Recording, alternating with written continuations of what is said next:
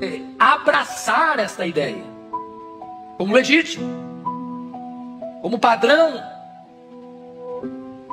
Agora, causa indignação, como causou em Jesus, usarem como estão usando as crianças para fazer propaganda dessa ideologia.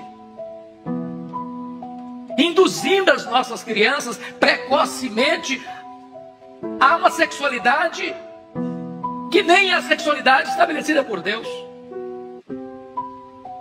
Porque menino nasce menino, menina nasce menina.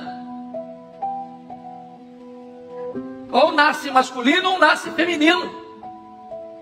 induzir uma criança que ainda está em formação de que ela é quem vai fazer essa escolha na infância, quer ser homem só quer ser mulher, ou se não quer ser nenhuma coisa nem outra, ou ambas as coisas ao mesmo tempo, ou mais do que isso ao mesmo tempo. É uma agressão à infância. É um desrespeito às crianças.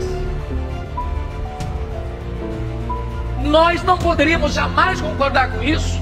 Aliás, nós temos um estatuto da criança e do adolescente. E a pergunta que fica é: onde são as autoridades para cobrarem?